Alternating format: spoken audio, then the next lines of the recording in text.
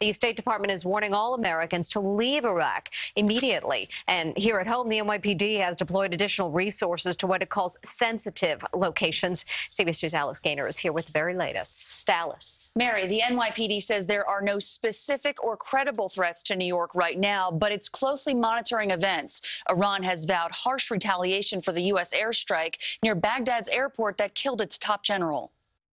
These images from the Iraqi government show the aftermath of a U.S. drone strike that killed top Iranian General Qasem Soleimani. The 62 year old led a special forces unit of Iran's elite Revolutionary Guard. Seen as a terrorist in the U.S., he was respected in Iran and tried to reshape its influence in the region. The Pentagon said President Trump directed the attack. He sent out several tweets.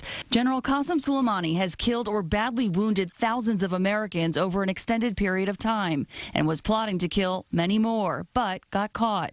He was directly and indirectly responsible for the death of millions of people, including the recent large number of protesters killed in Iran itself. The Department of Defense said Soleimani was actively developing plans to attack American diplomats and service members in Iraq and throughout the region.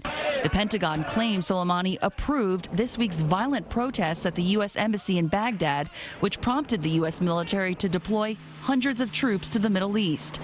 Defense Secretary Mark Esper said there are indications militias loyal to Iran are planning further attacks. Do I think they may do something? Yes, and they will likely regret it.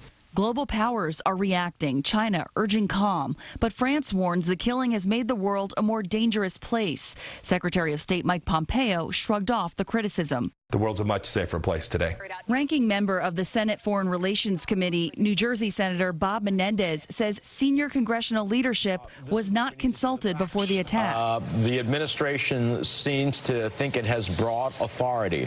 Uh, and if they can prove through the intelligence that this was an imminent uh, threat against U.S. Uh, interests and personnel uh, and that it was defensive in nature, then maybe it has the authority to do that. Iran's Supreme leader took to Twitter vowing severe revenge. And Iraq's prime minister says the assassinations are a massive breach of sovereignty, and the security agreement with the United States now needs reevaluation.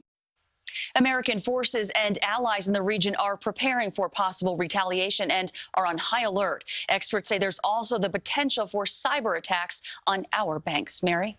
Alice Gainer. Alice, thank you.